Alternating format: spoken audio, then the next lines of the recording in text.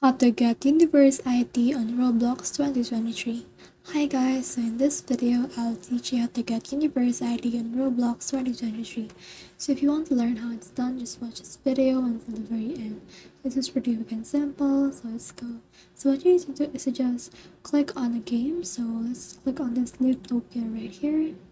And from in there you can see your game page. What you need to do is just right click click on inspect right here and then this will open a window with the elements.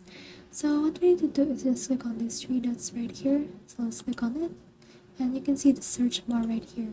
So what you need to do is search for data dash universe dash id equals and then search for it. So let's search for this right here and as you can see we can see two options. So let's click on this second option right here and then this will open our game detail. And we can see our universe id just right around here which is this. So just copy that universe id and you should be able to get it on your roblox. So that's the whole process. I hope this video helped you to get universe id on roblox 2023 if you have questions comments kindly put in the comment section below. And if not don't forget to subscribe and like